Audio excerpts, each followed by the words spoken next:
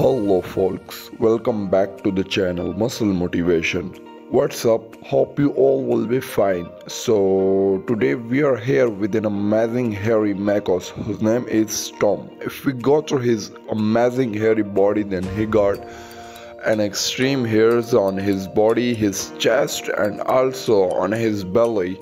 He got an amazing shredded body and a muscular uh, muscles and also amazing physique. If we go through his other muscles like bicep triceps then they all are very well developed and his chest is too big and round. He got an amazing shoulders and he is very beautiful and an aesthetic hairy chest bodybuilder.